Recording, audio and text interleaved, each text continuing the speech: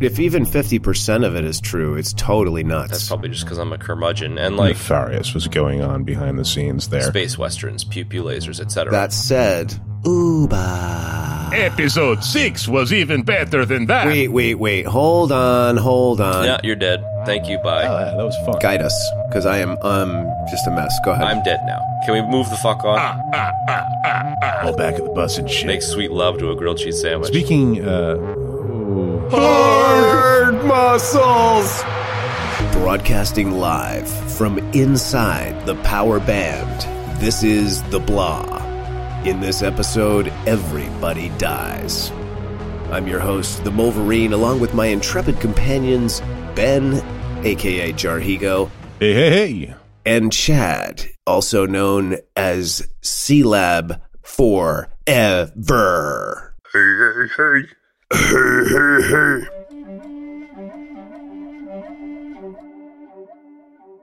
Nevarro. Tatooine. Greef Karga.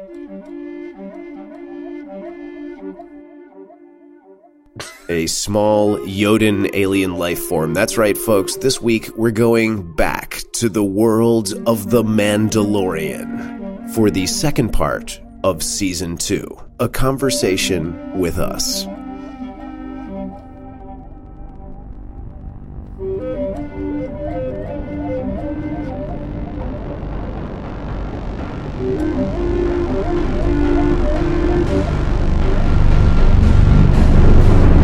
Algorithm, drive the bus. Where are we going first on this? We're taking a hard left.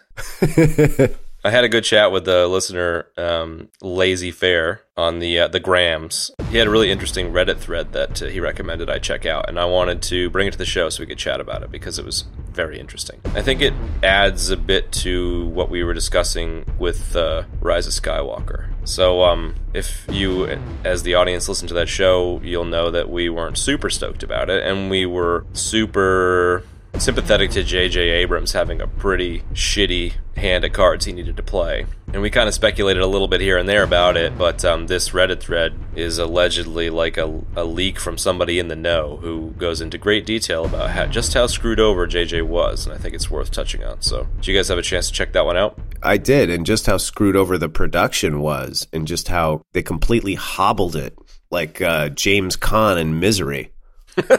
Yeah. It's a harsh reality of life, man. People are getting hobbled with sledgehammers, Chad, and this film was one of them. It seems like the whole fucking trilogy was, to be honest, but Yeah. it go- it goes back to Ben's point of uh, why the hell they had to do these movies straight away, but they did, and as a result, the studio clearly was uh, being overly protective. It seems. Yeah, and it sounds like it started on um, The Force Awakens. It didn't start on Last Jedi or, you know, the other uh, Rise, uh, Rise of Papa Palpatine. It started on Force Awakens when they were all reticent about hiring John Boyega because there's already a female in the lead. And, like, I, I, I was like, really? Yeah, I'll put a link to the Reddit thread in the show notes, so feel free to pause the podcast and have a quick look. It's like a five minute thing, and then come back to us. But um, we're going to keep it pretty high level anyway, so you don't need to read it necessarily. What did you think, Benny? I'm not prescient or anything, but I kind of might have guessed that this was the kind of thing that was going on. I mean, you know, JJ has always been pretty reliable for putting out good stuff. And for something so out of character for him to show up, especially in the Star Wars universe, you had to wonder if something nefarious was going on behind the scenes there. Um, so yeah, uh, my takeaway is I really hope somebody leaks his three and a half hour version that uh, has been lost on the cutting room floor for the moment. I hope somebody leaks that in the future. I'd like to see that. See see if it changes anything about it. Yeah, I think it's pretty wild that uh, one of the rumblings in the article or the post was like how there were many, many changes in the last couple of months, and like he was completely blindsided by the final edit, which is like that's some seriously messed up stuff if that's true. It wouldn't surprise me, man. You know, it really wouldn't surprise me. I don't know, man. I just wish like they would leave the creating to the creatives and the money people can do the money stuff. Like it just seems so silly to to get so bogged down in the studio people having a say in what's going to be shot on the film and stuff. Like I get the producers need to produce and stuff, but at the same time, like they bought Lucasfilm for four billion or whatever. They were going to make that back, no problem, and everything else is gravy on top. Like they're just they're they've already made their money back. Like it's there's no risk of them not making a billion dollars on on any of the sequel trilogy. There is now. So let the people like there is now, but like they're they're still like even like uh Solo disappointed, but it still made hundreds of millions of dollars. It still made a profit. You know, like it just it's making a fucking profit, guys. Leave the movie to the people that you hired to make the movie. I don't know. It just seems so silly. My God, man, it's like I don't know. You kind of said it. You both kind of said it already. I don't really have much more to say. I'd love to see his cut of the film. But Kevin Feige did it, man, with the uh, MCU. You know, like there's definitely a certain level of tameness to the MCU. Like it's not as risky as other movies, but like they certainly had a, a much higher strike rate than Star Wars has. You know, and they took their time building up to the climax instead of starting with the climax of the sequel trilogy. Like we've covered this ground before, but just this the the amount of meddling in this in this post. Let's just assume that it's all reasonably true. Like it's freaking nuts, man. Dude, if even 50% of it is true, it's totally nuts. I especially thought that there was the one one of the comments about like Disney's happy to to scuttle episode 9 for the bigger picture. And it seemed as though the bigger picture was like they don't want anyone going to DC and helping DC build their DCU because MCU is essentially this generation's Star Wars and stuff which I would argue is reasonably accurate. Like every little kid these days is obsessed with the MCU so it's just so petty to to do that. So after this disaster and what we read, if assuming that it's all true, what do you think JJ is going to do now? Exactly. You think he's going to be stoked to make more Star Wars movies? No. No. It's, they're they're really risking scaring off top talent if JJ gets screwed over like this, you know, like cuz like even the Rian Johnson movie, you know, regardless of the actual film Last Jedi, Rian Johnson is a really good director, man. He's made some fantastic movies. It was really surprising to me to see how bad Last Jedi was. Dude, Looper is so good. Yeah, Looper's great. Number one. Number two, I have something to say about The Last Jedi because I did start watching it again like a week and a half ago and I didn't finish it. But you hire somebody to make a movie, right? And he's got his vision of how he wants to tell the story. Everybody signed off on it. So why is everybody giving him so much flack? You know, like mm. he he I saw a lot of posts where he was defending what people were saying, fans were saying about his version of the film and it's like he, he he had some really good thoughts man. Like all his responses were really you know well thought out. You know what i mean? It's like you, you just want to you hire somebody to make the film. It's like you know he, he this is the vision of the film. Everybody signed off on it and then it's like oh now everybody's upset and nobody likes it. It's like throw him under the bus. Great. Yeah just throw him under the bus. That's really cool. Like that I, I, I feel like are, are, you are you talking about like Disney throwing him under the bus, or are you talking about people not liking the film? I'm talking about both. I'm talking about everybody throwing him under the bus and people not liking the film. You know, yeah. and now after reading this Reddit post, it's like who knows what Rian Johnson's original vision for the film was? I mean, Looper was so good, man. I, I can't believe that this guy would intentionally make a bad Star Wars film. No way because guys like Rian Johnson and us and JJ, we all grew up watching this crap. So yeah, no one would want to screw it up. Nobody is going to do that, man. I mean, come on. They're not going to do it knowingly, willingly. That's that's what I'm saying. Yeah, I'm with you. Well, I mean, if they want to keep making movies, they're gonna they're gonna have to learn their lesson at some point. I agree. You know, I mean, I I don't know what overall Rise of Skywalker has done, but you know, it seems like I've I feel like I've been reading a lot of articles about how it's underperformed at the box office.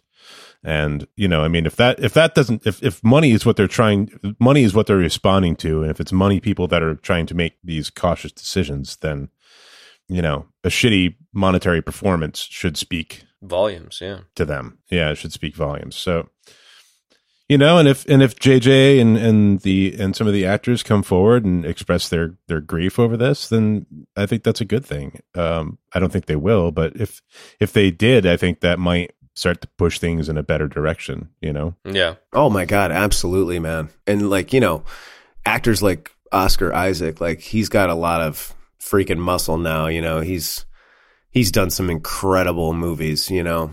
Yeah. Well, I think what's going to happen is exactly what you're both saying, which is they will learn their lesson. Unfortunately, it'll be at the expense of existing franchises being destroyed, you know? Exactly. That that's where the frustration is for a lot of the fans, regardless of whichever fan franchise is being discussed. Like they own all of the goddamn franchises now, so hmm. th- if there's one way that you shouldn't make a decision, it's by committee. And they've clearly got huge committees of people chiming in rather than allowing a handful of creatives to to collaborate and make a great movie. Exactly. I think you said it best last week, Kev, where you were saying that at least with the prequels, there was a singular creator bringing his vision to life. And even if we as fans didn't appreciate it and maybe might appreciate it more now, like at least he had creative freedom. It's clearly not the case for these these new movies, and the result is is quite disappointing. I'm actually kind of thankful that it's meddling by the studios and not these talented directors like completely shitting the bed, you know? Well, you know what? I, I want to say something else about the prequels. Like now, I'm I'm really hot on the prequels now because I've been thinking about it a lot since we did the episode. And you know, the thing about the prequels is is really, and and this is typical in human behavior. It's certainly in this country is we tend to focus on the negatives more than the positives, right? In our lives, like from the smallest thing that's happening right now in this moment to what happens in a day, a week, a month, and a year, right? And really, when I think about the prequels and the things that people complained about the most and the things that I didn't care for the most, it's really like Jar Jar and what Hayden Christensen did. And Hayden Christensen is not a bad actor. He's done other stuff that is really good. And I think, unfortunately, for these films, you know, it didn't really do a lot to help his career. But those two things taken aside, there's a lot of really cool stuff about the prequel trilogies. We get to see all kinds of interesting planets, worlds, societies, technologies, creatures, lore. There's so much lore, so much cool stuff going on there, man, that that is the stuff that keeps me going back to watch them. You know, like you, know, you take away those couple of dumb things and you know there's a lot of really good material there. Like you know you brought up lore when we were talking about the first half of the mandalorian and and i'm with you on that. And like aside from the lore i love seeing creatures. I love seeing cool ships technologies things like that. And it's like there's a ton of that in the prequel movies. Tons of it. And if you take away those couple bad things that people really disliked there's a lot to like there. That said, Uba, Uba, Uba. which of course is the best thing about the prequels. totally. Exactly. I uh, I still have a huge raspberry for the prequels, but I might need to revisit that. I just like I totally understand where you're coming from, Kev, and maybe we should do a show on the prequels at some point in the distant future Oh my God, yes. when we're willing to watch Star Wars again, which might be a while. Yeah, it might be a couple years. Yep. Yeah, well, if if look, I am I am absolutely willing to watch Star Wars. The The Mandalorian is proof of that. Absolutely. I just, you know, I mean, it harkens back to the just the entire Skywalker saga being done with that, right? Isn't that really what it is? And are, we're all done with the Skywalker saga, and you know, it sucks that they botched the seven, eight, and nine. And you know, I, I get the sense that both of you guys are a little more emotional about it, which is totally cool. I'm just meh. All right, whatever. I can choose to ignore those movies, Yeah. and I'm fine with that. You know, it's not it's not keeping me up at night. No. You mean you mean seven, eight, and nine, Ben? Seven, eight, and nine. Yeah, I think it's a shame that it's a missed opportunity, of course, and you know it's a shame that there's a lot of wasted talent, but it doesn't keep me up at night. I honestly, I'm not emotionally invested in it at all. Yeah, and my emotional investment broke with my watching of Last Jedi. Since Last Jedi, I was just kind of like, all right, whatever. See you later. And we we we recorded the Star Skywalker Saga Must Die episode, you know, which kind of wraps it all up in a in a tidy little bow. Like I'm with you. I'm way less emotional about the handling of Star Wars, and I think you know the the emotion now is more like relating to corporate interests preventing good art from being made Mm. regardless of of franchise. That's maybe where the emotion is more hot for me. But maybe there's a little segue there between this Reddit post and, and the Mandalorian, if we're we're ready to segue. Um, ultimately, for me, the movies are too risky and the bean counters are always going to be fucking them up. But the TV shows are less risky, and so people like Favs can come in and have more control. And I think that, like, the Star Wars or other franchises that run the risk of being ruined by corporate, you know, bean counters can be saved in these less risky mediums. And we talked a lot about how we were interested to see Star Wars and Marvel shows be taken to the next level because there's a huge opportunity for that being the golden age of television. And so I feel like The Mandalorian is a great first step. And similar to how Favs launched a thousand ships with uh, Iron Man, I'm hoping that he launches a thousand ships with uh, Mandalorian. Well, hopefully the movie side of Disney will see the. I'm I'm I'm kind of making a bold assumption here because I like the Mandalorian. That generally the Mandalorian is being well received by people, um, and hopefully they'll see that and, and pivot. I hope so. I don't know what they're going to do. I was watching The Mandalorian, and it's so funny talking about Rise of Papa Palpatine, getting so wound about that and disappointed with that, and then you know, I went and watched Solo and I was like, wow, this is good. And then I thought about the prequels and I was like, you know, those movies really aren't that terrible, man. There's a lot to like there. And then I'm watching The Mandalorian and I'm like, this is just great. Mm, it's just simple. Just great. Simple fun. Just simple and great. Good lore and just great characters, creatures good stories. And like I, by the time I got through episode six, I was like, I cannot wait to see where this goes next. And then by the time I got to the end of the run, I was like, I cannot wait to see where it goes next season. And that is a great headspace for fans and viewers to occupy. And I was so stoked to watch it again before we did this. And I, I couldn't even get through all of them. I think I got through half of seven last night, but I was like, man, I just I want to watch it again. It was so damn good, man. Mm. Yeah, similar high level. I, I really enjoyed it, and it was really interesting to to have a major tentpole Star Wars movie come out in the middle of the season.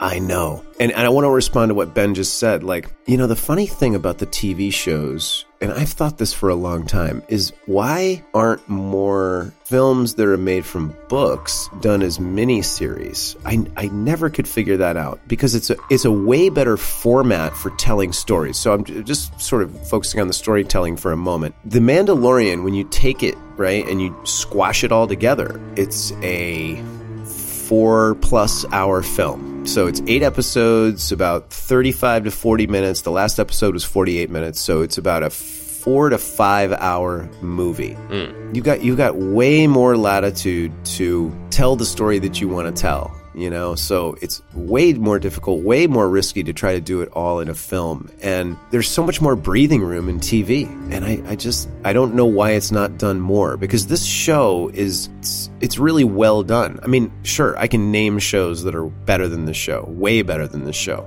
but it's damn good. Yeah i agree. And i think that there's way more likely of a chance of them continuing to fund shows like this but maybe it's kind of like you know it's kind of like the music industry in a way where album sales were a huge thing for a long period of time, just like box office ticket sales are a huge thing. And they're like a direct output. The money gets put in the bank, as opposed to a streaming service, which is all about churn rates and, you know, costs per customer acquisition and, you know, lifetime value of customers and all these crazy formulas and growth algorithms and shit. So, you know, hopefully they don't let that get in the way of the fact that TV is probably going to be a better medium for medium and longer form stuff. If Mandalorian is an example of the beginning of a new era with mega franchises, and, you know, Game of Thrones was one of the major elements in showing that giant budget TV can result in giant cultural juggernauts, then, like, keep this shit coming. So, yeah, absolutely. Book adaptation is, I think, better suited by series. Um, we know they weren't quite so successful with Game of Thrones, but they started off quite successfully, I think. Yeah. If they if the books kept up, they probably would have continued to be successful, but they outran the books. Yes, exactly. There was kind of a strange situation there. But um, The Expanse is terrific, and that's another example of that. To speak to that, I think that's a great idea, and I'm very uh, excited about Denis Villeneuve's uh, Dune that's coming along. Super interested about that one. But you got to wait, wonder. Wait, wait, hold on, hold on. Denis Villeneuve is doing Dune now. It's in production right now. Oh my god. I just I just got through almost all of Blade Runner 2049. It's so it's so good. I almost I, I've been thinking about suggesting that we revisit that film. Oh dude, it's one of the best films of, of the last 10 years in my opinion. It's going to be interesting to see where where he goes with Dune because it's a very complex book and Yeah. The longest form in the universe might not save it, but I'm really interested to see where he goes. Okay, so we know that the sci-fi miniseries didn't work out, and I don't know if that's because I don't think I don't think that's so much because of the longer format as it didn't work well with people. Uh, the direction they went with it. And it probably didn't have a lot of budget either.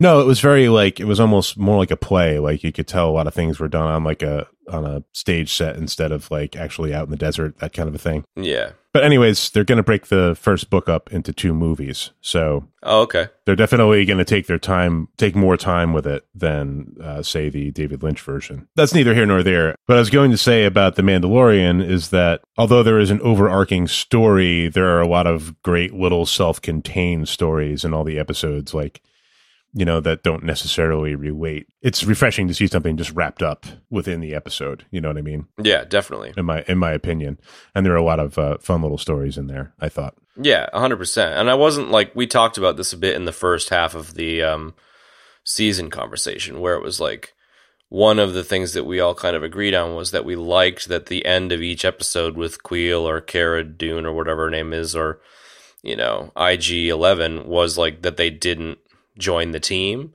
and that did kind of change towards the end of the season which we'll get to I'm sure. But um they were very self-contained as episodes and I think similar to what Kev said like because they were like you know taking vitamins instead of like having to slog through something like you just one at a time you just pop them and you're like oh that was enjoyable you know? Some of the episodes were stronger than others but as a whole it was quite enjoyable and the fact that it threaded together was also like a bit of bonus you know like it could have just been eight episodes of random stories and I would have been fine with it but the fact that there was a, a thread that tied it all back together was was interesting Yeah, I think that was the way to do it. You know. mm. Agree, agree, agree. I, I'd be curious to see what he does with Dune. I'm a very big fan of his now, and there's no reason not to be. I mean, he did um, Sicario, Blade Runner, Arrival, Prisoners, which I haven't seen. He also did, um, I think he did another film with Jake Gyllenhaal where he's got a like a double. yeah that wasn't very good. I can't. I, it was pretty good. No, Yeah, I need. Yeah, whatever. This isn't a, this isn't a Denis Villeneuve show, but I'm I'm with you. Like I'm curious to see where he goes with it, and I think I think that on that topic of longer form adaptations of stuff, like I think there's going to be stumbles. There's going to be you know shit that they spend a lot of time and a lot of breathing room putting out there that doesn't catch on. I think a good example of that is um the His Dark Materials uh, show that's airing right now. That's I think might have just concluded the first season. Like the books are you know young adult kind of fiction and like they're good. And when I read them back when they came out, I enjoyed them. I reread them recently and was less enamored, but that's probably just because I'm a curmudgeon. And like they made a movie about it and it failed I wasn't enamored the first time around, just for posterity. yeah, fair enough. Like it- it's it's like a yeah, it's totally fair. They they made a movie about it, and the movie didn't do as well as they'd hoped, so they canceled the the trilogy, which is a shame. And then they've made the show now in attempts to revive everything with more breathing room, and it's it's fine, it's good. It's just pretty much photocopied out of the book, so there's nothing that's being elevated for me, and so it's just kind of like yeah, okay, right on. I'm curious to hear what someone who's never read the book thinks about the show because it's just kind of like whatever. So I think that, you know, the larger medium of TV is going to be a very interesting place to see explored over the next decade now that things like Game of Thrones have opened the door to much bigger budgets. And so, you know, I'm hoping that they don't stumble too much. Uh, and I'm hoping that the medium really takes a next evolutionary step. But um, I'm, I'm pretty stoked with Fav's take on, on Star Wars. And it seems pretty clear to me, at least, that the low risk medium and the unknowns in regards to like how well Disney Plus was going to do probably gave him a bit more freedom to make what he wanted and as a result we potentially have you know him doing the Iron Man treatment to Star Wars and hopefully they take a, a note a note out of his book and also doing it. And, I mean, interestingly, you know, Iron Man was a film, and this is TV, so it's like he's kind of switching formats and making something cool. You know, definitely I I I died. I I just want to point out that I died right when I started talking about prisoners, and Chad just completely went into the garage, got the steamroller out, and drove over me. Yeah, this isn't a show about Denis Villeneuve. Anyway, do hey man, sometimes you need to like prune shit back, and you know, uh, prisoner's steamroller. after you did that, I was like, I was my mental picture of this episode was, um, two guys holding a dog leash of a dog that they are trying to You're about to die again, I think, man. control. Hold on, and those two people are you, and I am the dog. Yeah, you're dead. Thank you. Bye. Wait, both both people are Chad. Yeah, I'm. no, both. I got cloned. The two people are you and Chad, and I am the dog. No, Papa Palpatine style. I've cloned myself and I've come back with white eyes, and I'm you're you're in a gimp suit with a leash. Yeah, that's fine. I'm dead now. Can we move the fuck on? Okay, you're.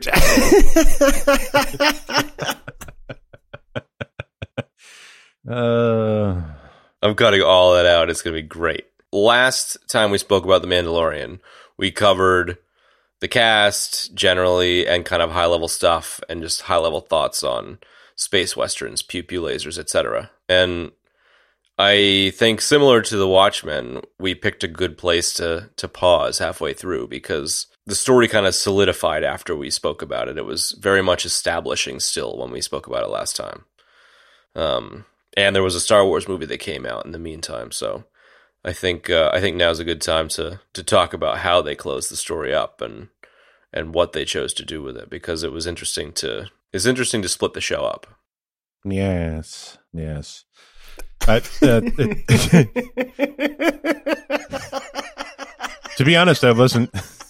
I wasn't so sure that it was a wise decision to uh, to do that. But I think uh, my previous complaints about doing high level entire season uh, or entire show podcasts, you know, it's just that there's so much ground to cover and they tend to be frenetic and something's always going to be left out. So I think it's actually a really wise decision that we decided to do that. But I didn't know how it was going to turn out, and I'm- think it's it's turned out well. It's something we should probably consider doing in the future Yeah, yeah, and just keep playing with it a bit. What do you mean the when the, possible. The double the double part TV season? yeah, breaking a season into into two episodes, I think is is a good idea. Yeah, I wish we had done that with Umbrella Academy actually, but you know, yeah, in the future this is the way we should do it. Hindsight's twenty twenty. Yeah, I mean, you know, we just started. We've been at it for what a year now, so I don't think we necessarily. This is the first opportunity we've had to do it like this. So I think it's I think it's a good choice. I wasn't sure about it at first, but I think it's it's good. Yeah, for sure.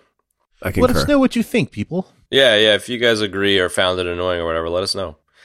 But um, in the, f- I feel like it's going to be one of those things that like when the shows come out, as they come out, people might be like, "Ah, I just would rather to hear the whole thing. But in the future, you can go back and download both episodes and listen to them back to back. You know, so I think it's depends on how you approach the show. You know, What Chad is saying that is that we're going to do it the way we want to do it, no matter what. So yeah, pretty you. much. pretty much. This is our show. We're gonna do it the fuck we want. Thank you. Bye.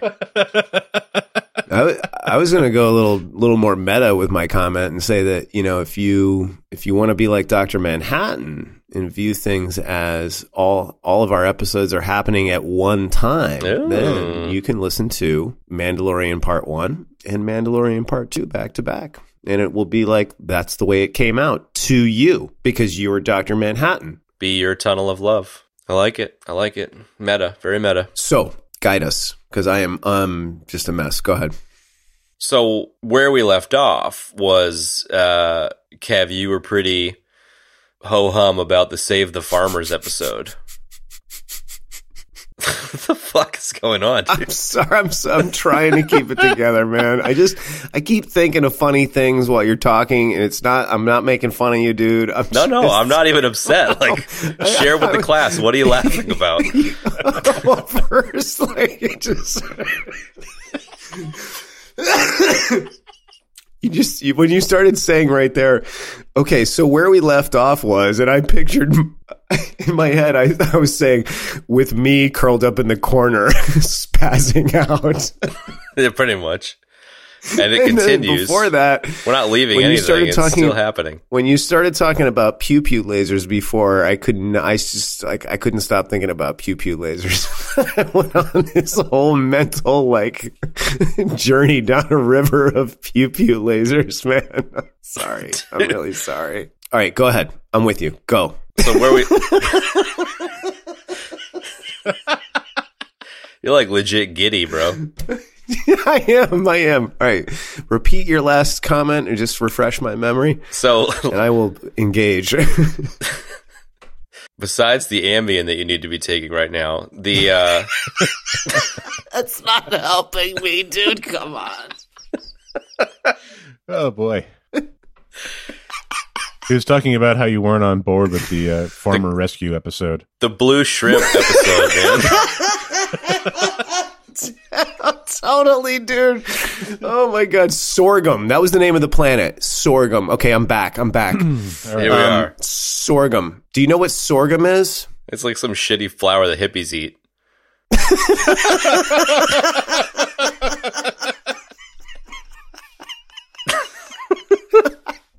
I, I love how I love how algorithm is saying things that are funny to make me laugh, just so he can yell at me. and be like, dude, stop derailing us. Um, sorghum is not quite that, but yeah, I'll, we'll take that as an answer. Okay, I was gonna like read the fucking dictionary for it or some shit. Noun: sorghum. I will spare you that, but um, that's the name of the planet in episode four, the uh, the Farmers Revolt episode. That's super insightful. Thank you. I can't even. I can't, I can't even wrap my head. I can't even wrap my head around it. That episode was like um, any garden variety Star Trek episode from TOS, TNG, DS9, Voyager, combined with elements of Star Trek Insurrection. It was such a Star Trek episode. I just I cannot stress that enough. I just didn't care for it. That's kind of what I liked about it. I mean, I'll I'll admit that I don't think it was out of out of all the episodes, it was definitely one of the weaker ones. But I kind of liked that about it. And then go, going into five, five was the gunslinger. Helping the noob.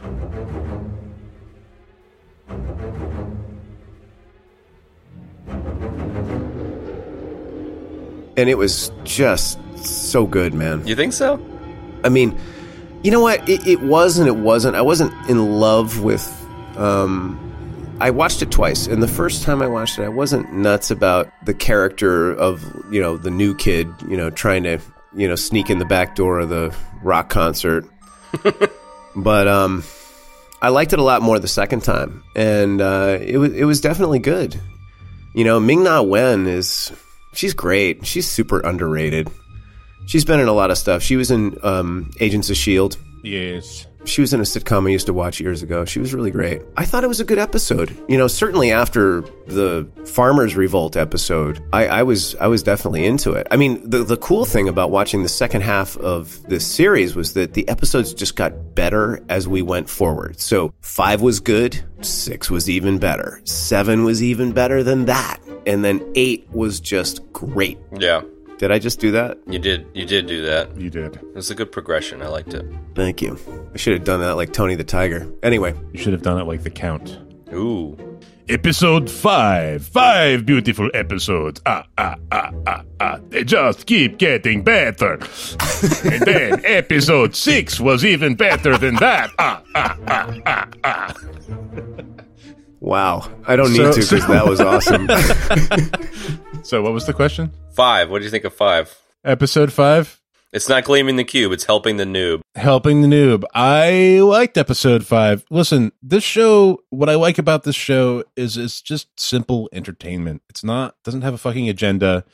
It's not trying to do anything other than just, it reminds me of like watching like an old, you know, like, like of watching Star Trek or even like, I don't know, watching like an old 80s TV show or something, you know, like, fucking the A team or or something like that. Like it just has it just has that kind of feel to me. And I know it's not like high literature or anything groundbreaking, but it's just entertaining and enjoyable. Like I can just sit and watch it and go like, oh yeah, that was fun, you know. So episode five, yeah, um, I, I had a great time watching it. I, I particularly kind of enjoyed uh, Amy Sedaris's uh, mechanic character with her little droids and all of that. Yeah, she was great. She was she was really good. That's funny, man. I she was good, and I yet at the same time did not love that. And here's why: because I felt like her dialogue was too like it had that feeling of what we talked about in Rise of Skywalker, or sorry, Rise of Papa Palpatine. And it wasn't quite like Rise of Papa Palpatine, but it was close, and that kind of bugged me a little bit. But that being said, it wasn't enough for me to not love her character, her, or the episode. So moving right along. Yeah, see, that kind of banter doesn't really bother me in a TV show No. format. Uh, up on the big screen, yeah, it just it just has like I don't feel like this has to fit so tightly with the rest of things, and that's one thing I enjoy about it. So that's that's my take there. Ben, you know what this show is? You know, The Mandalorian is a combination between Michael Knight and Thomas Magnum. He's roaming around, getting into these adventures. He's got sweet armor and weapons and technology, and he's saving the day. He's got a sweet ship. Exactly, dude. You know, think about that for a second. He's Michael Magnum. I like it. I do really, really like the. Um, I do really like the comparison of this to like an '80s style show where the episodes are just like tasty nuggets as opposed to a, a, bigger meal because I think it really fits the way that they they chose to do it, and it doesn't surprise me that somebody like Favreau would would want to go down that road because he would have grown up on a lot of the same shows that we did. he's the same age as we are. And you know, the other thing too is that um, you know, you're right, Ben, it's simple. And I like that. But what's cool about it is that there's intricacies in the overarching story, in the arc itself. So while each episode is relatively simple, you know, and, and as a whole it's simple, like there is an arc that is a little bit more intricate. And, you know, like I said in my o- sort of opening tirade that it's just so good. I can't wait to see what happens next. Do you feel the same way in the sense of like, oh, it's TV, it's okay, it's not a big deal, in regards to something like episode five, helping the noob? I just kind of didn't understand why he would give the kid the time of day. He just feel like he says it in the beginning of the episode where he's just like, yeah, have fun with that. That's a stupid idea going after her. She works with Jabba the Hutt. And then he's like, okay, I'll help you. You know, it just seemed like a bit of. Because he needed the money. Yeah. No, because he said he needed the money. Yeah, he needed the money. for for for sure i'm with you but like as you just said overall arc of the entire show throughout mandalorian is quite strong silent type doesn't do dumb shit and it just struck me as like something kind of dumb to do you know i don't know do you, do you feel as though aside from the fact that it's easily explained by the needing the money do you feel like the tv show format gives that more leniency like you might have approached it differently on the big screen or like i'm just curious your thought Hmm. Good question. Would they have approached it differently on the big screen? I really hope not, because I like that the way that the combination of the writing and Pedro Pascal have brought the character to life, and also a nod to the two stuntmen that played the character under the armor when Pedro Pascal was not present. Hmm. I also think that you know if you think about it, Chad, and you look you, you look at all of the episodes, like the man first and foremost, the Mandalorians themselves are like, yes, he's a strong silent type, he's a man of few words, all of that, but they are the opposite of sort of cold, calculating people. They're uh, they're very warm, and the, and their motivation behind what they do is all very much from the heart. Like the whole thing with the foundlings. They rescue these foundlings and they take them in and they bring them up and each portion of like the jobs that they make or the, the Beskar that they make goes to fund to help raise a foundling. Like he's he's very heartfelt as a character. Like the the whole idea of seeing the child and not wanting the child to be harmed and like taking him, and that is pretty much why we have this entire story. So no, I don't think it's it's far fetched. You know, if I totally get what you're saying, and at first I kind of thought that, but then I was like, wait a second, no, no, no, no, no, no. He, he's he's very heartfelt, and I, I'm sure that it would be no surprise to me at all if he was like, oh, you know, I remember the way I remember my first day. you know, I remember my first day at McDonald's. It was hard for me too. Yeah. I'm going to help you out. You know, I, I don't think that's much of a stretch at all, actually, because he he seems all of his motivations seem to be from his heart. Man, he kind of wears it on his sleeve a little bit. Yeah, he's Pedro Pascal brought a great kind of uh, vulnerability to the character, which I think is amazing. You know, um, I was kind of afraid that he was going to be some kind of crazy OP, you know, just ridiculous, you know, like just can't be defeated sort of character, and he's not at all. He's not at all. He's totally he's totally fallible, and he's vulnerable, and he's sensitive, and you know, yeah, he's a badass, but he's not invincible, you know? And it seems like his badassery is, is maybe fueled more by like a kind of passion than, than like raw skill, you know? I mean, he's obviously skilled, but like when he really kicks ass, it seems like it's something emotional that's driving him. I, I could see him taking on a shitty job, you know? I mean, the, the prisoner episode, he's kind of taking on a shitty job because he needs money, you know? So I'm not, I, I mean, I, I, get what you're saying, Chad, but I'm not 100% on, on, I think the, his motivation for taking the job, just being the fact that he needs money is fine. That doesn't strike me as like bad for any particular reason. Yeah. Just to finalize that for me, like, I think I was, put it, looking at it through the lone wolf and cub lens, which is my problem, not the show's problem. Ah, yes, which there is some of that, but I'm kind of pleased that it's not just that. Yeah, yeah. You were going to say something, Kev? I was just going to say that you know when he when he goes into action, it's it's very emotionally driven, and I, and I almost was going to say no, I think he's kind of more like a samurai, but but I'm going to change that and say that he's he's kind of more like a samurai in the sense that he's had disciplined training and he's very good at doing what he does. But I do agree with Higo that uh, it is it is coming from a place of emotion. You know, I think there are times when the action seems like he's just reacting because he knows, like it's the training. You know, not not that it's cold, but he's just reacting like you do when you've when you're that good at something, you know. And then other times, yes, there's definitely some emotion in there as well. Totally. Mm.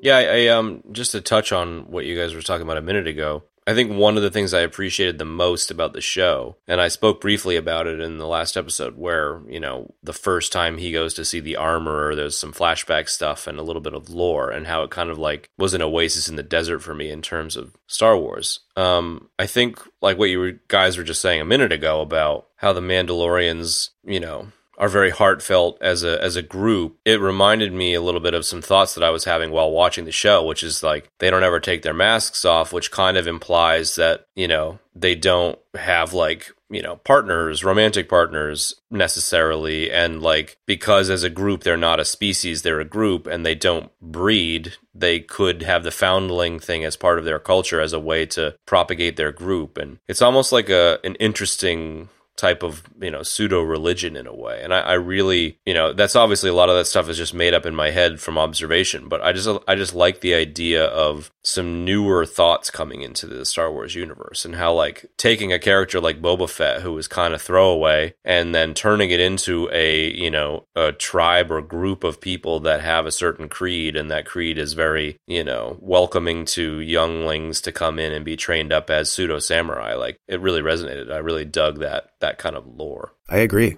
Totally. I mean, I even love the fact that Jango Fett was used as the template for the clone soldiers. Like, so especially now, having watched The Mandalorian, thinking about the second of the prequel films, it's so cool that one of these like awesome warriors, highly skilled, like you totally understand why he was chosen as the template for the clone soldiers. Mm. Like they're so good, you know, like all the Mandalorians, like they're so good. They're such skilled fighters and hunters and like, my God, man, you know? But that was this show as opposed to like my take on Jango and Boba Fett, where they were like kind of the cold, calculating, brutal killers that were highly trained. They were almost like special operations style, like uber soldiers. Whereas uh, you guys make a good point where the show fleshed out the I don't know, for lack of a better term, the race, which it isn't a race, but you know what I'm saying. Like the the the group of Mandalorians has so much more depth as a result of the show, which I just really appreciate. I gr- totally, man. I know that's what's so great about it. There's just like it's lore abound. There's so much great lore in the show. But it's all implied as well, as opposed to like they don't beat you over the head with it. You know, it's episodes that are really fun little stories with just like sprinklings of lore in that kind of get your imagination going. It's exactly what we were talking about in terms of the original trilogy.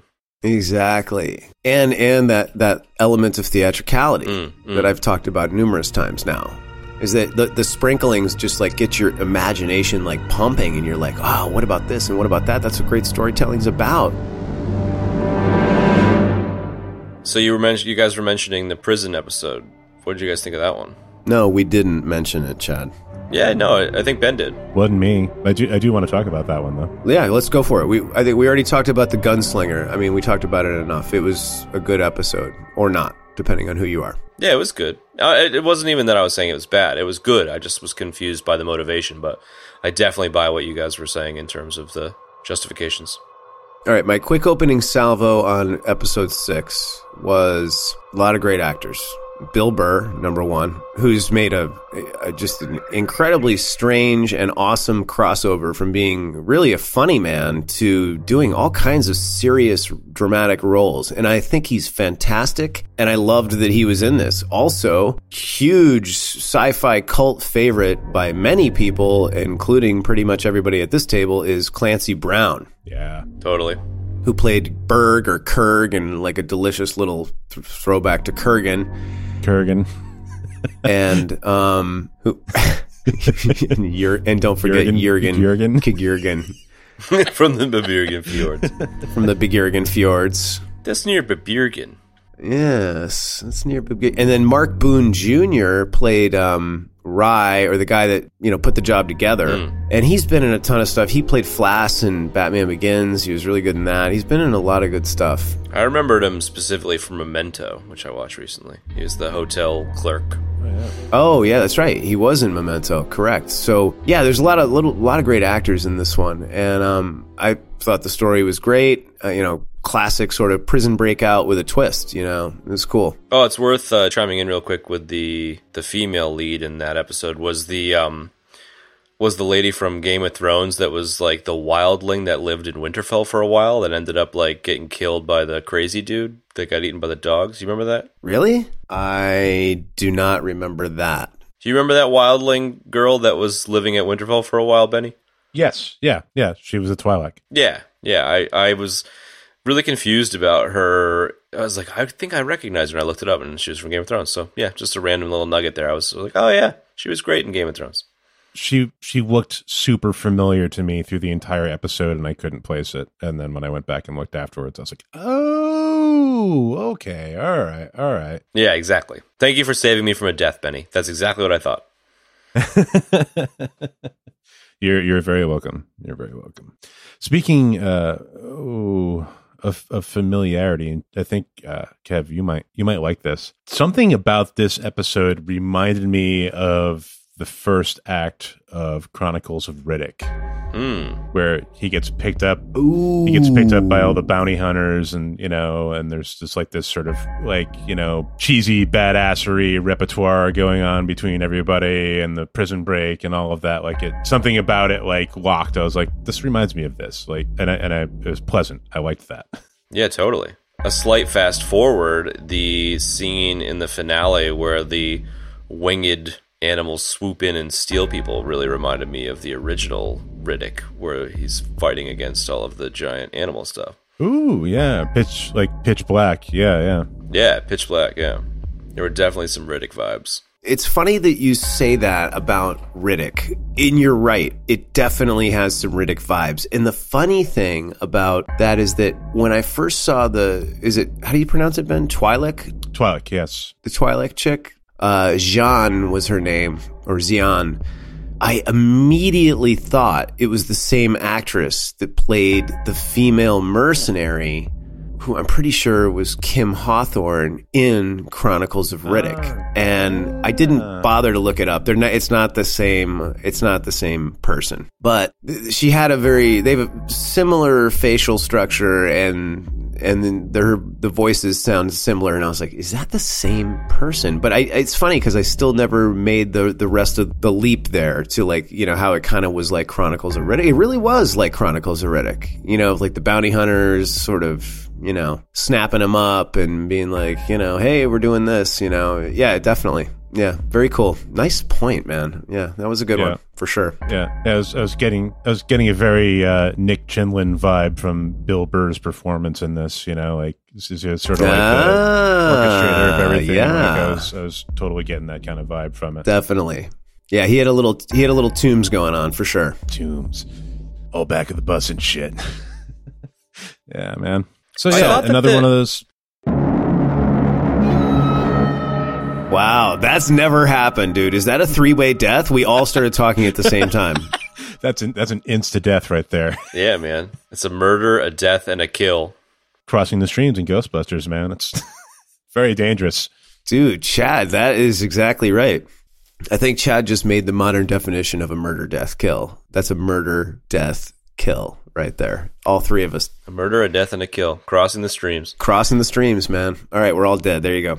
Dead as shit. Um, so I thought that the show was. I thought that this episode was going somewhere a bit different. Um, where like they've got the Riddick style banter in the ship on the way to the to the job, and it seemed like a bit of a intentional stoking of Mando to suss out where the child was, and then kind of a like, oh, is this a pet? I'm gonna take the pet it kind of got the vi- I kind of got the vibe I kind of got the vibe that it was um, a setup to to take the kid off of him and leave him for dead and it kind of didn't go that way which I thought was interesting Hmm. Interesting. Yeah, no, I didn't think that at all. It didn't cross my mind.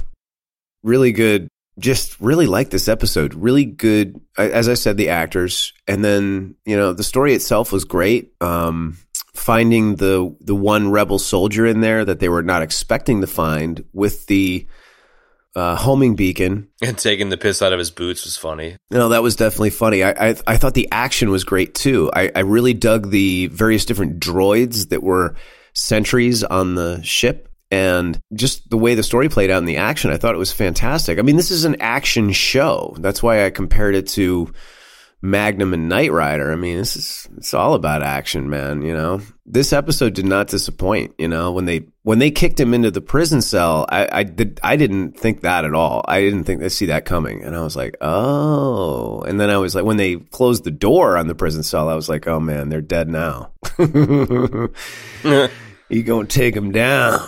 what did you think of this one Benny Yeah, it's a it's another one of those like great self-contained little stories, you know.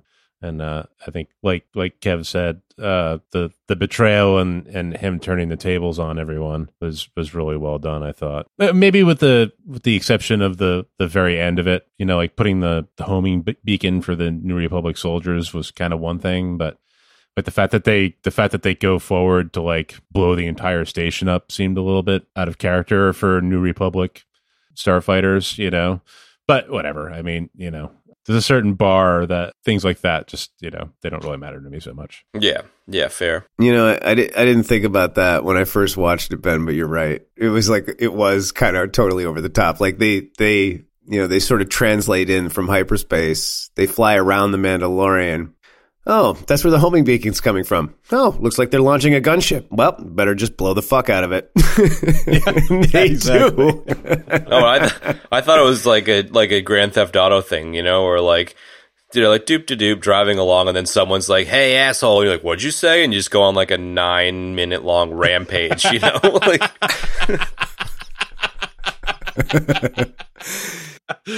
Uh, that's great.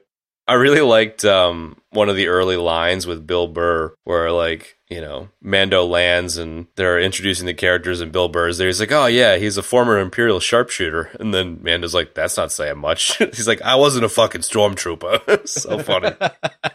yeah, yeah, that was funny. I, I like. I, I agree with Ben though. You're you're right. His line about the Gungan thing, I thought was great. Which one? Oh, they were talking about taking his helmet off. He's like, "Come on."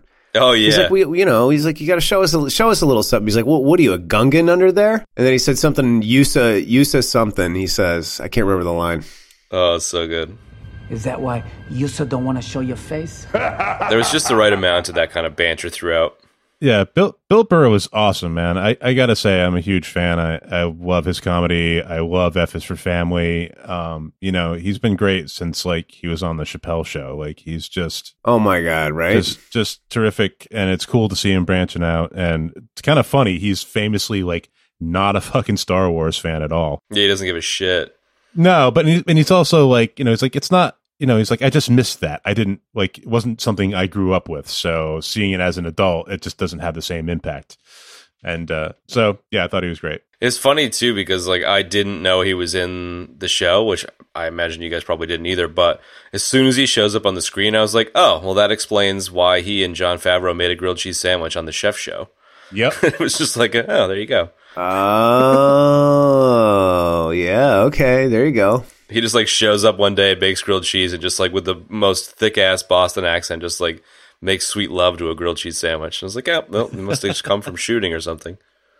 The only other, uh, the only other thought I have on episode six was I absolutely loved when he's creeping up, when Mando's creeping up on um, the the girl knife assassin, and it's just like, or no, maybe it was the Bill Burr character where it's just like him in the distance and then it kind of like flashes and then it's him closer and then it flashes and it's him right behind him. It was just such great a great shot. Totally. You know what? I was I was picking up alien vibes there, big time. Oh, absolutely. Yeah, absolutely. In in which part? Sorry. He's hunting down Bill Burr's character, and like there's like an emergency light flashing, I guess, like a red light flashing, and it's like Bill Burr's like trying to find him, and like the light flashes on, and you see the Mando in the distance, and then like it flashes again, and he's a little bit closer, and then like the next time it flashes, is like right there, and Bill Burr screams. Like it's totally, totally pulled right out of Alien. Yes, that was really really great. Yeah, a little alien, a little bit of Batman there too. I think. Sorry, Ben. You had to say it, didn't you? You had to say They it. had to bring Batman into this. You son of a bitch. You son of a bitch. I'm sorry, dude. It was sort of similar in effect to the the scene you guys just brought up was when all of those battle droids come walking around the corner the first time and like all of the mercenaries are, are just kind of like they're, they're about to do something and then they're looking around and like they're noticing that Mando's not there. And then Mando comes around the corner from behind the droids, whips out his knife, and just takes them all down. It was tight. I really like that a lot. Anyway, episode seven. Go, go, go. No, no, I really like that a lot too. Episode seven, the gang is back together. Gang gets back together and Gus Fring. Who's Gus Fring? Gus Fring, dude. Do you guys not watch Breaking Bad? Are you kidding? Oh yeah, I think I stopped watching it before that. I I watched the whole thing, but man, it's been a long time. Wow, I've we I've rewatched it once or twice. It's so good.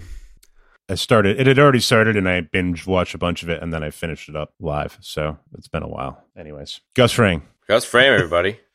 Yes. I was mentioning you mentioned you mentioned uh, Cowboy Bebop. exactly, Benny. You mentioned Cowboy Bebop last time around, and it turns out you were right. Well, I think I was saying that I was glad that it wasn't turning out to be a Cowboy Bebop thing. You were wrong. Um, I I was I was well. I, I don't know, man. I'm I'm not hundred percent wrong. It's not as if by the end of this he's back on his own with just the little baby Yoda. You were not hundred percent wrong.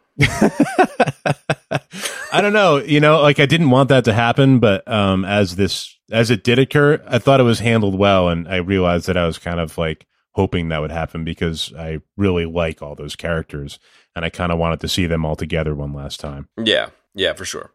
They handled it pretty well. Like I was very much on the same motorcycle as you with not being interested in a Cowboy Bebop like show, but because they ended up not sticking around, I'm totally okay with it. I said exactly the same thing you said. Yeah. How about you, Kev? Same thing. Sure. I don't know anything about Cowboy Bebop. Oh, really? Well, it, it you know, if even if you're not into the Cowboy Bebop or familiar with Bebop, it's similar to the Firefly thing, where like everyone jumps on the same ship and they all race around having adventures together. It's the same vibe. Yeah. And in this case, they only had the one adventure, and then everyone fucking dies, just like the show. Uh, not everyone. The cool people did. Well, wait, what? No. Kuiil and IG Eleven did. They didn't die in this episode. They died in the last episode. No, I know, I know, but we're just talking about like the whole arc. I mean, the, the last two episodes are very sort of mashed together, in my opinion. They play like an hour and a half film, you know, but, you know, some great moments, you know. I mean, again, simple, nothing like crazy that's never been done before, but just, you know, the sort of the whole hold up in the bar and the sewer escape. And he finally just, I love how they, they ran, you know, run into the pile of Mandalorian armor and helmets, and then the armorer's there, and she's like, "Oh, I happen to have my forge right here. You just earned your signet, and let's just dial that right in right now because there's nothing else going on." And then she just totally kicks the crap out of all those stormtroopers with her which was awesome. various smithing hammers.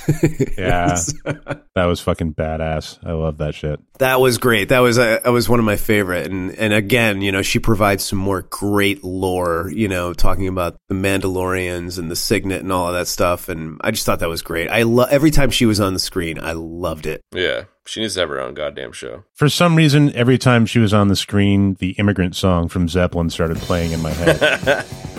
There you go, dude. I like it, man. Like, we'd have to put include that in this episode in some in some way. We'll just have that as the bed track of the whole show. yeah. There you go. Perfect. Over and over again for an hour and a half. Yeah, which you know makes sense considering Waititi did direct the final episode, so it kind of fits. Yes. Yes. I yes, I noticed that, and I knew that Chad would be giddy about that. Oh, and I loved the you know again Nick Nolte as Kuiil So just good. great and how they showed the whole thing of reprogramming a droid like rebuilding and reprogramming a droid from scratch and literally teaching him how to function again like a, a like a, a child of any race you know and I thought that that was just awesome man and then I love what IG11 turned into in the end was like a total protector of the child and a protector of the Mandalorian and all all of the I want to say humans, but I'll say beings, you know. I I just thought that was great, you know? Like and he was always willing to put himself first above them and ultimately sacrificed himself to save them all. I thought it was fantastic. totally, and warmed uh, Mandalorian's heart to droids again. Yes. Yes. It's true. I, and I, I gotta say, man, I was really bummed out that Kuiil died, and I, I somehow either missed it or blocked it out. But I, I was really bummed out that he died. Yeah, me too. You know, just him going on about, you know, how he's worked like multiple human lifetimes for his freedom. And, you know, you get the impression that he just didn't have that much, you know, like the empire just just dissolved, right? I mean, it hasn't been that long since like the freedom fighters won. So you just you get that impression that he hasn't really had that much time to himself to enjoy his life. It's like getting, it's like getting out of prison and getting hit by a car as you're crossing the street to get in the cab. Yeah, yeah, yeah, exactly. It was a very good way to ratchet the tension, though. Like he, Yeah. you know, it's a shame that his character got knocked off, but like him racing towards the ship and the old school scouts and the old school speeder bikes chasing after him, it was like, damn, that's that was it's a pretty great scene. Yeah. Yeah, it was really good, man. It was really well done too. Did you, you know, and again, I gotta say, like the speeder bike conversation, I just, that bantery, Oh, dude, I loved that. it, it just it, it it gave me cringy flashbacks to Rise of Papa Palpatine. I'm sorry, man, it did, and I, I was like, it's okay. You don't have to like it. I did. I thought it was fucking hilarious. I know, but I just like I don't I don't think that that kind of dialogue like that belongs in these in Star Wars. I just don't. I, I we never saw it before, and I. It's a long time ago in a galaxy far, far away. It's not a long time ago in uh, the desert in California. You know what I mean? I'm sorry. It doesn't. It's not America. It doesn't take place in America. It doesn't take place on planet Earth. And I, I just think it takes away from the entirety of the microcosm and it also takes away from it takes me out of the story in a way that I don't want to be taken out of it especially in this the mandalorian which is like redemption for you know this horrible movie that just came out. So I, I did like that one of the stormtroopers was Jason Sudeikis. I mean, he's awesome, but I, I just I don't know. I didn't dig it, man. What did you think of that one, Benny? Okay, here's the thing. I, I know what you're. I know you're responding to the same kind of banter that was going on in uh, uh, Say it properly. rise of the rise of the rise of yes, Papa Palpatine. Thank you. yes, yes, yes. Thank you. Um, but I thought it was superior to any of that shit. And although it's it's a little over the top, and yeah, maybe it doesn't fit, I was feeling the heavy handedness of Taika Waititi in that entire oh, for sure. thing. Like it reminded me of his banter, like as the as the rock guy with the little, you know, the- Yeah. Korg, Yeah. yeah, Korg and Korg and Mick. Yeah, Miek. yeah. It was reminding me of that, so I liked it, you know. And like I said, my bar is set at a different level for this TV show, and yeah, I mean, there was a little, there's a small voice in my head going like, "Oh Jesus," but at the same time, like I I overcame that because I thought the quality of the the banter was was far superior to anything that you would have saw in Papa Palpatine. Like it was just better. It was just better comedic banter. You know, it was higher quality. I thought. you're right. You're right. Okay, all right, uh, Ben, you're right. I dig what you're saying, and you're right about that. That's sort of changing my mind because I think I was just really raw from Rise of Pop, Papa Palpatine because that was just so egregiously bad. And I, when I was listening to our episode of that show, like we men- we mentioned that like 10 or 15 times it felt like. So it was just so ever present in the movie. I, I it really bothered me a lot. And so when i saw that I, I guess i was really just still raw from that. And i was like i really don't want to see this in a star wars property One more, one more little addendum to that scene when they're both trying to shoot at that plant or that rock or whatever the fuck it is, and they're, they're just missing and missing, and they're both like shaking their pistols. Like, Yeah, he shakes the pistol and it has a spray paint can Foley for it. Fuck, it was so funny. yeah, yeah that was good man it was like a it was like a space can Yeah. Yeah. So good. So so my view on that is similar to Benny's. Like I hard disagree with your original statement, Kev, and for a lot of the same reasons. But I think for me, it was like straight up like a Kevin Smith in Mallrats arguing about the Death Star. Like it was essentially a scene that the fans always talk about. I loved it. I thought it was fucking hilarious. And like wanting to see Baby Yoda and like punching Baby Yoda when he's making noise. I just, uh, it was fantastic. I, I was delighted by that scene. Do you feel what I'm saying about the fan, the it being the fan thing though? oh yeah, I, d- I definitely feel what you're saying yeah, yeah. There's like a meta layer to the whole thing, like Yeah. you know, a, a self commentary on like, yeah, totally. It's almost like the kind of fan service I'm I'm down with now. Like I'm so sick of the traditional fan service that like bringing the fans bitchy bullshit into the show, kind of like I kind of got a kick out of it. Mm-hmm. Yes, sir. Yes, sir. Did you say yeah, sure, or yes, sir? So the Canada, huh? Almost made it. almost made it. Going for some French fries and gravy, sir. the um what in the world is that what? It's uh, Super Troopers, my friend. sorry i'm not not i've only seen it once i'm not a fan Oh, I'm so sorry for you. Very. it kind of was a victim of overhype. I had so many people like bothering me to watch it for so long. I was finally like, you know what? I don't really want to watch this now. you know how that happens? Yeah, I know. Well, that means we need to do an episode on it. I would totally watch it again. I also feel like, I mean, I don't really remember a lot of it, but it's a cult classic. And I was really kind of bummed out that the sequel came out like 15 years later. Like there's this rash of like these sequels coming out like years and years after the original. And I, none of them seem to be doing very well. I don't know how the Super Troopers 2 did, but I was, bu- I was bummed out because I knew that the first one was so beloved. Well, I mean, they crowdfunded it and they, you know, the whole thing was more or less fan service, you know, and it's not the first movie, but I mean, the first movie is funny in a way that's, I don't know why the fuck we're talking about Super Troopers right now, but uh, Cul-de-sac. it's, it's one of those movies that I could see someone being turned off because it was overhyped, you know, it's a certain type of humor. And if you're not in the mood for it, then it's just not going to strike you as funny. And the second movie is just more of that same kind of, you know, doofy humor. Um, and it's total fan service. But it's okay because it was designed to be as such. It was crowdfunded. They were asking people what they wanted in the fucking movie, you know, and like they ended up putting a bunch of shit in it just because they ended up raising way more fucking money than they anticipated. So, you know, it's a the whole thing is just like a love letter to the fans. And, you know, if people want to shit on it, fine. Yeah. I, I didn't think it was anywhere near as good as the first one, but whatever. Uh, you know. Yeah.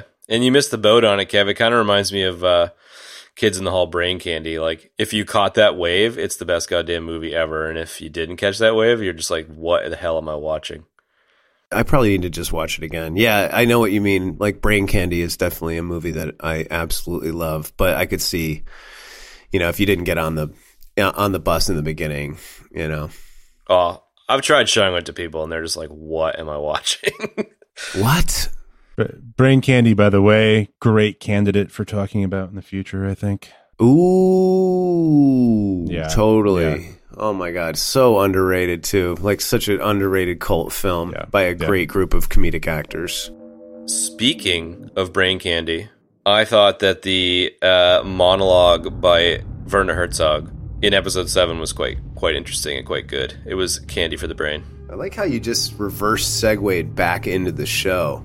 Yeah, good job. I did, and I actually thought you were going to say, speaking of brain candy, The Mandalorian's a pretty good show. Because we were so far down the cul-de-sac, like we were Speaking at of like kids in the the hall, twentieth uh, mailbox. Speaking of all day, the um you and me all day, when uh big muscles, hard muscles. When um when Werner Herzog is at the at the bar Mister November, he likes it hot. stop stop stop. That was such a good segue. Come on let me have it. Go go.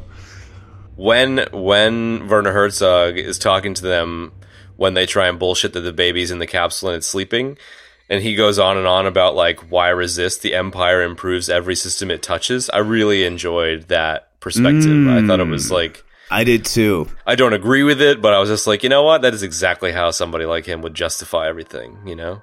He's like there's more peace now and more prosperity. What do you guys have? It's bedlam out there. It's just it was great Sure. I don't know. He br- he brought up a really good point, and I really I, I thought about that a bunch. Like I was like, yeah, that's an interesting point. It is, you know. It was cool to bring into the show. You know, there's a lot of there's a lot of that reverse sort of uh, you know philosophically thinking about you know like oh the Jedi were evil. You know, like if you look at everything they did, they were terrible, and you know it's just it's more it's more of that. But it's like it was cool that they brought it into the episode. Yeah, and it touches on that kind of nationalism kind of thing, you know, like the the Nazi esque kind of stuff that they touch on. Absolutely, man. But you could totally imagine some the Imperials, you know, having that type of thinking, and then it's just like, yeah, that's fine, man, you know, on a spreadsheet, but you're you're murdering people, like mass murdering people. Right? Yeah. You're yeah you're mass murdering Mandalorians. You're enslaving Wookiees. You're you Yeah, know, like just uh, your spreadsheet makes it look like everything's you know pointing up and to the right, but It's it's down and to the left. It's really back and to the left. yeah, it's back into the left. Yeah, exactly. Back and to the left. Yeah. back and to the left. enhance, Enhance. enhance. It's Afghanistan animation, Chief. Johnny Chimpo. Johnny Chimpo. oh, Jesus. What did you think of the um of the TIE fighter that kind of went all X Wing and landed? That was kind of cool. That was interesting. Uh, and it's and I mean it appeared to just be a normal Tie fighter Mm. when it was in flying position. It didn't look like it was necessarily anything different. Yeah, like a Vader style one or whatever.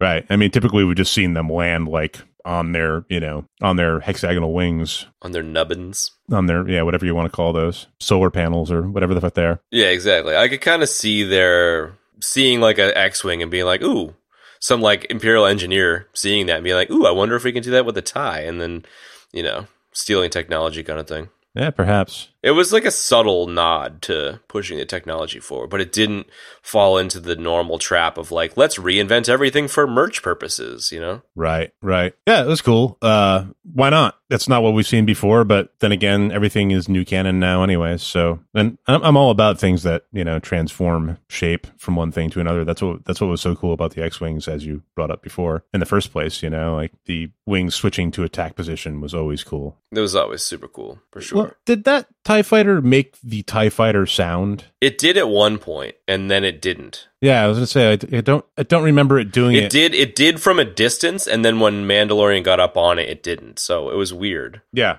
yeah. I mean that's that's one thing they can't take away is that TIE fighter sound. That that is just iconic. I dug it. I, I, I was like, this is kind of weird, but I guess, it, you know, if you were um, a higher level, if you were in upper management in the Empire, like Vader or Kylo Ren or whatever, you would, you would have a TIE fighter like that. And, you know, Vader had that kind of um, triangular wing, pointed wing TIE fighter.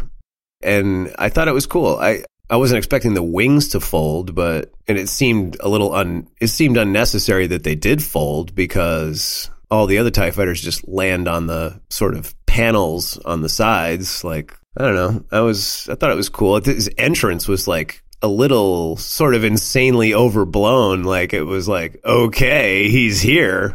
A little bit of extra drama for the uh, the introduction of Moff Gideon. I liked him as a character, though. Having it be like someone who's clearly going to be a baddie, as opposed to just like a disposable villain that dies at the end of the season. Oh, he's great. He's great. Oh my god, he was great. I, I love that he was like just not not an unhinged villain, but like a very calm, uh, well prepared. You know, like he had like all the intel on everybody and was kind of using that like psychologically against them. I thought he was terrific. Uh, yeah, I just yeah, John Giancarlo Esposito Esposito is just amazing. Just played it played it so well. I caught that same vibe when he was just like standing in the middle of the battle. It really reminded me of like scenes from like Band of Brothers where everyone's hunkered down trying to save their asses and there's always like one crazy dude who's just standing there. He's like, I'm not gonna get shot. He's just like standing there, walks up, shoots Mandalorian in the back of the head, turns around like with the giant blaster and then blows up that huge box next to the machine gun. Like, he just doesn't give a shit. He knows he's not gonna die, you know? I like that. Yeah, he was kind of channeling uh, Robert Duvall on the beach in in Apocalypse Now. Yeah, exactly. Thank you. Perfect example. Yeah. Perfect example. Oh, he- Colonel Kilgore. Yes. Yes. So he was Moff Moff Kilgore. I like it. Moff Kilgore. Yeah. I'm looking forward. I'm looking forward to more of him. I think he's going to be a great, uh, a great villain. How freaking badass was that dark katana thing that he had? Oh, dude, that's the dark saber. That is so a cool. That's a that's a Mandalorian weapon. Is it? yep. Oh, Yes, that is a Mandalorian weapon, the dark saber. I know nothing about that. It's like a revered, like, uh, yeah, I don't know. There, there once was like in. It's kind of odd that they're like changing some canon, but not others. But yeah, it's. Where's like, that from? Where do you guys know that from? Uh, that was that was heavy duty in in like uh, Clone Wars, the animated show. Oh, okay, see, I haven't watched that still.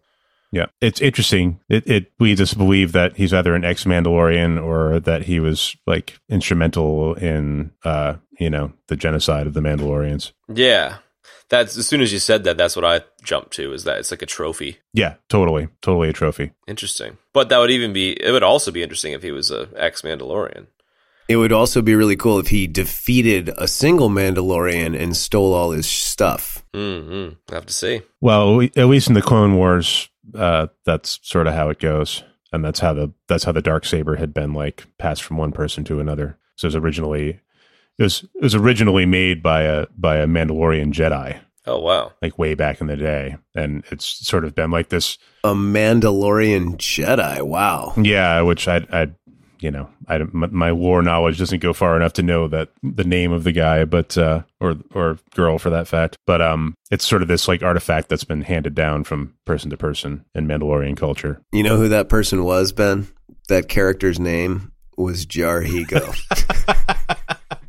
I just tied everything together. There you go, folks. Thank you. You're welcome, and good night.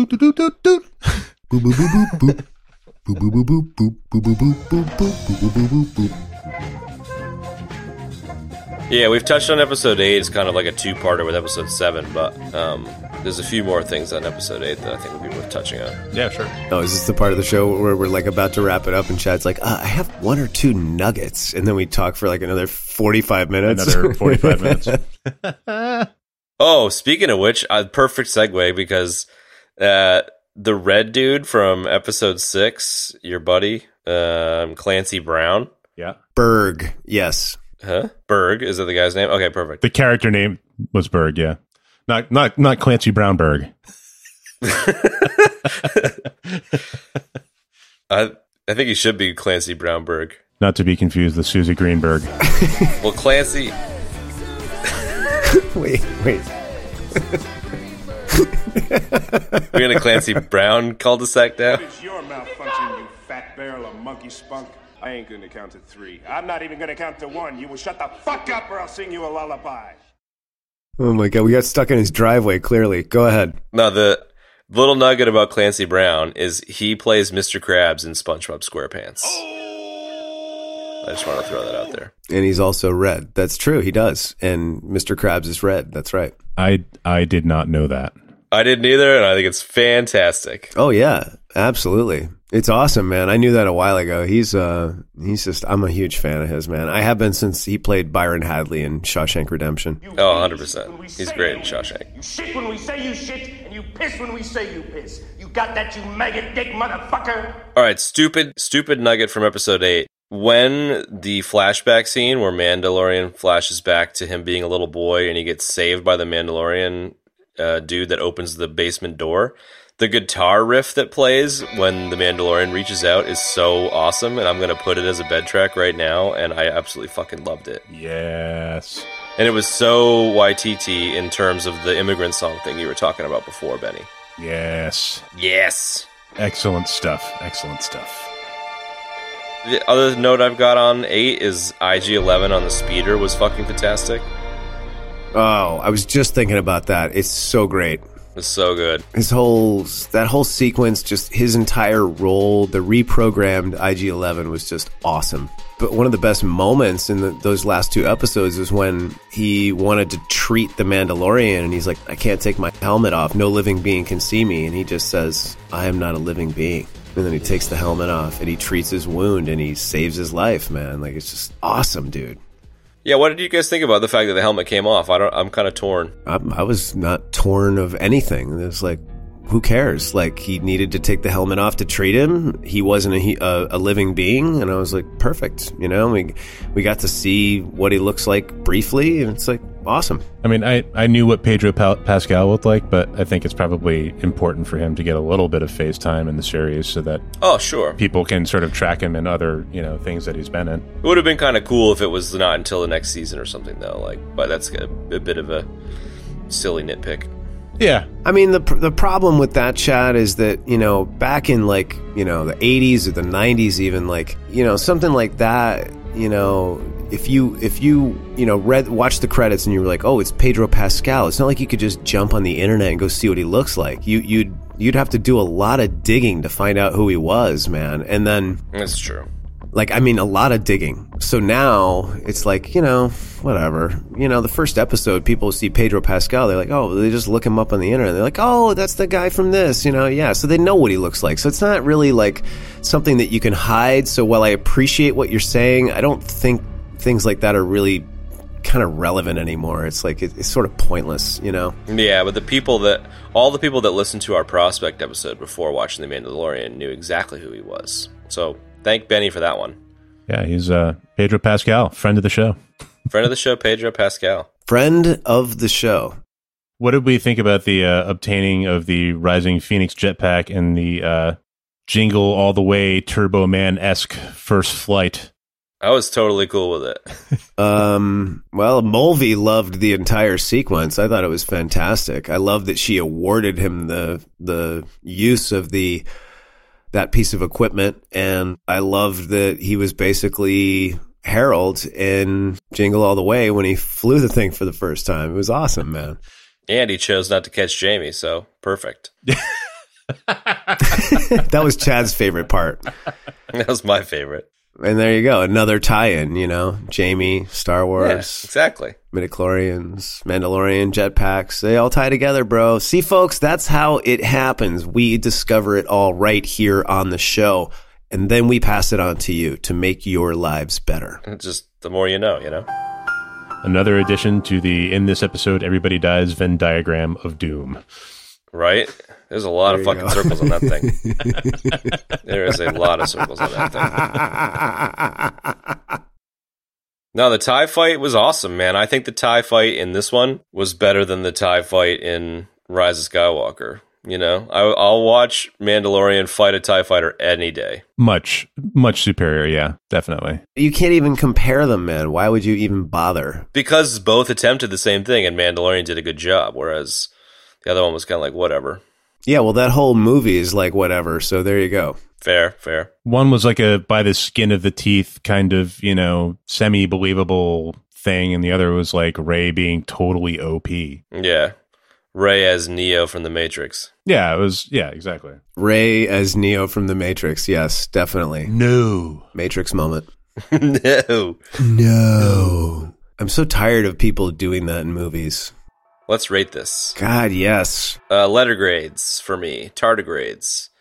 Wait, we're doing tardigrades or How many tar- How many tardigrades are you giving this movie? Well, that's that's your shtick, Benny. I'm doing letter grades. My my improbability driven ratings are only for movies, so I am sticking with the letter grade for the TV shows well. Okay, perfect. Oh, okay. All right. All right. Well, who who wants to go first? Benny, go first. Okay, it's a solid eight. I like this show. Hell yeah, bro. I like this show a lot. It, it it it it's just right for me. It's the kind of thing I want to watch right now, and I hope there's more shows like this. That's it, man.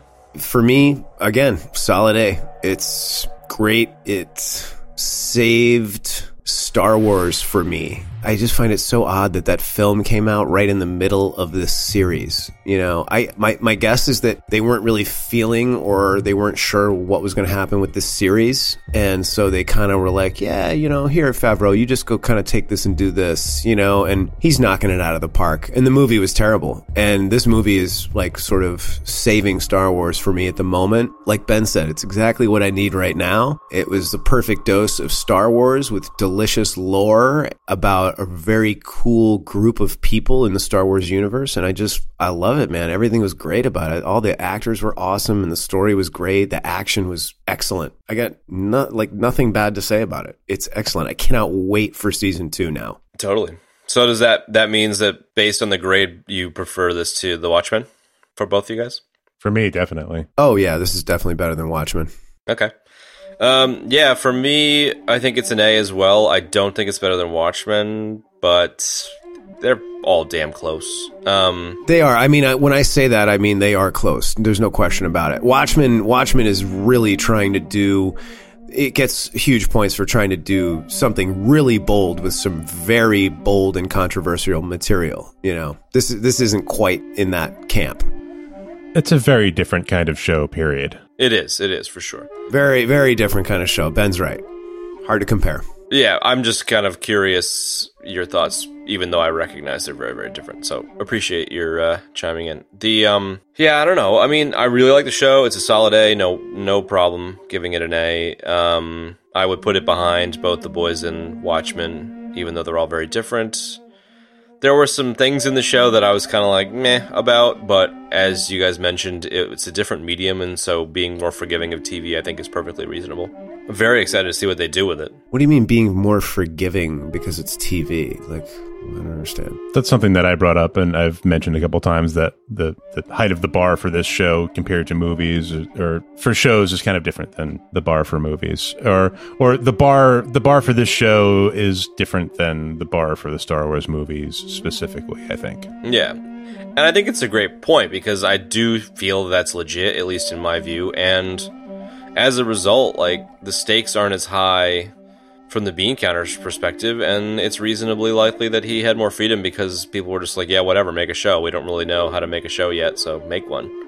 All we've done is the animated ones, and they were good, so make something that you want to make. Mm-hmm. Mm-hmm. Okay.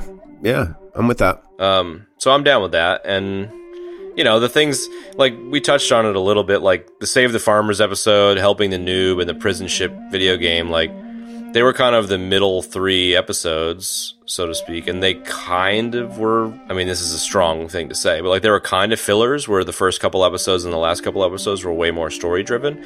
But as you guys mentioned, like the filler episodes were just like a, you know, like an A team thing or a Knight Rider thing. Like it fit perfectly, and so there's no gripes there. Yeah, they were kind of monster of the week, but they were also. I mean, thinking about it now, like um, the Sorgan episode was in, introduced Gina Carano, who became a pretty major factor in you know the later episodes. You know, and I like her. they were threaded together. Like the the prison episode and the gunslinger episode were, you know, like he he had to do the gunslinger episode that job. He had to do it to get the money, and because the ship was beat up, you know, on his way to do something else. So I I don't know. Yeah, I get what you're saying though. I get it. Yeah, and you were saying you like her. I wasn't super big on. I her, wasn't but- huge on her, but I, I I mean I think the character was fine. There was no reason to not include the character. I wasn't Oh, totally. nuts.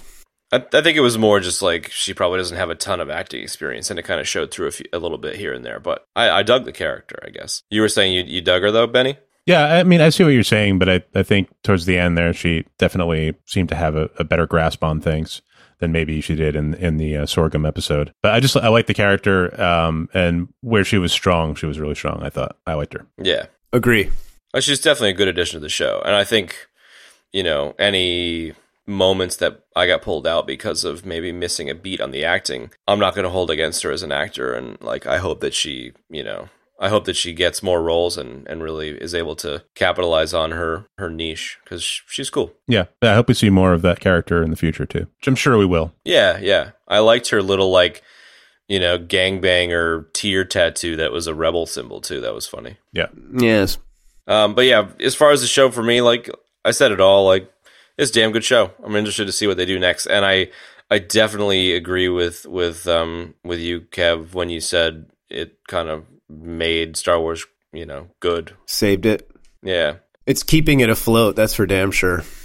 Yeah. Like if it fell on its face and the last two movies fell on their faces, like I think there'd be a lot more despair. And I think that the the Mandalorian is probably the best damn thing that's gonna happen to the corporate Disney heads because without it there would be far less forgiving people in regards to the movies, I think. Dude, I will make a prediction. I will guarantee you that Jon Favreau will be directing the next Star Wars movie. You think so? Absolutely, man. Yeah.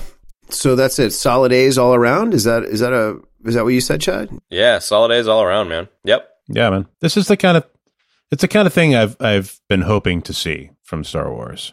You know, something a, a different story, something that's not directly related to the Skywalker saga. Getting to see some different characters and getting to dive deeper into the war and and all the neat gadgetry and and such of of Star Wars. Uh, it's perfect. I love it. and a and a slightly different genre and stuff as well. Like I'm totally okay with them, you know, jumping onto the Clint Eastwood style Man with No Name stuff. Like I have no problems with it.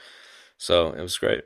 You know what? Here's a great way to f- to say the, the kind of characterize this show. This is a very street level view of Star Wars and the Star Wars universe. Excellent. I like it a lot. So, um, that being said, thanks to all the folks at home for tuning into the show. Algorithm, what are we looking f- at for next week? And next week we're doing our top five of 2019. So anything goes. Ooh. Bring some crazy stuff to the table, and um, it should be an interesting conversation. No, top five, and this is for the folks at home. Top five, what? Anything?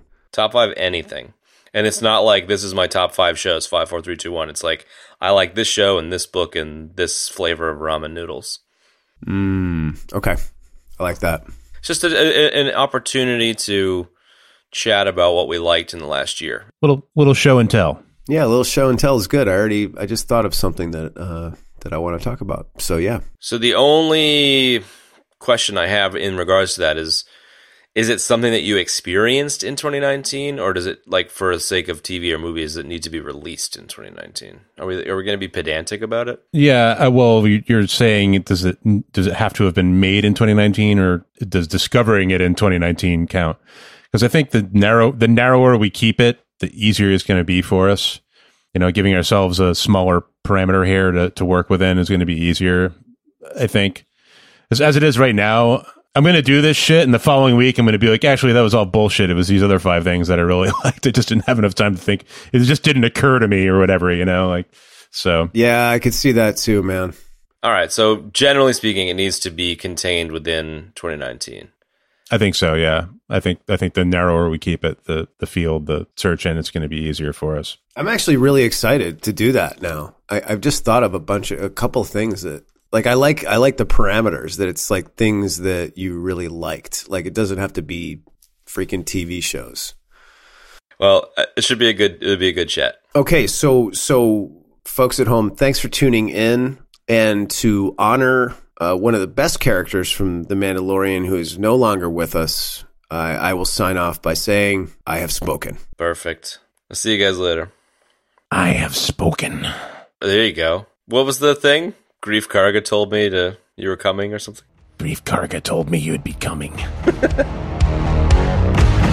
And that's going to wrap up this week's episode, folks. Next week, we're going to be talking about our top five favorite things of 2019. Ooh, be sure to tune into that. You can find the show notes for today's episode in your podcast app of choice or at our website, ebd.fm forward slash episodes forward slash 37. You can find me at Mohlverine on Twitter. That's M O H L V E R I N E. Chad is at Chad Normal on Twitter, and Ben is at Jarheego on Twitter. That's J A R H E E G O. I'd like to take a minute and thank everybody so much for tuning into the show. You know, it means so much to me and the boys. And if you'd like to support the show, there are a couple of great ways you can do it. First, by rating and reviewing us on iTunes or wherever you get your podcasts. You can also tell someone to check out the show. Word of mouth is incredibly powerful and incredibly effective, and we appreciate it so much. Thanks again for tuning in, and we'll see you next week, folks.